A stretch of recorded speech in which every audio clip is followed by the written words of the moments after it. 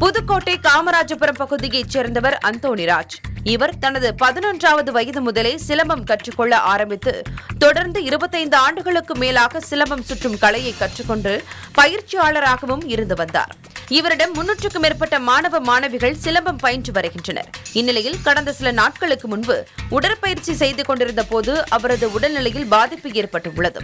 இதனையடுத்து மருத்துவமனையில் சிகிச்சை பெற்று வந்த அந்தோணிராஜ் உயிரிழந்தார். அவரிடம் சிலம்பக்கலை பயின்று வந்த மாணவ மாணவிகள் இந்த தகவலை அறிந்து கண்ணீர் மல்க வந்து அவருக்கு அஞ்சலி செலுத்தினர். அப்போது சிலம்பக்கலையை கற்றுக் கொடுத்த குருவிற்கு மரியாதை செலுத்தும் விதமாக மாணவ மாணவிகள் சிலம்பம் சுற்றியபடியே அந்தோணிராஜிற்கு மரியாதை செலுத்தினர். மேலும் அவரது இறுதி ஊர்வலத்தின் போது இடுகாடு வரையிலும் அவரிடம் சிலம்பம் பயின்ற மாணவர்கள் கண்ணீரோடு சிலம்பம் சுற்றியவாறே சென்ற நிகழ்வு கான்பூரை கண்கலங்க வைத்தது.